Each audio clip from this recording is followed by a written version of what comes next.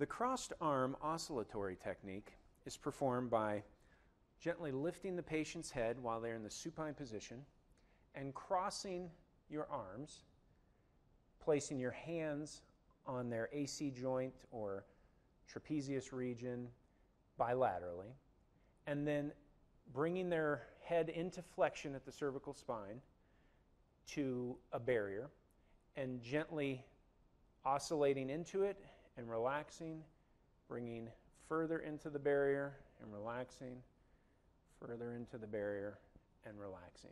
Generally, a one second to two second force into flexion and a one to two second release. And again, repeating that. As an additional modifier, you can rotate their head sideways. And while it's in a side rotated position, or rotated in this case to the right, you can perform the exact same stretch. And likewise, rotating to the left, performing the same basic components of the stretch. Once completing that cycle, three to four oscillations with release, you can return them to neutral. Let's see what's next.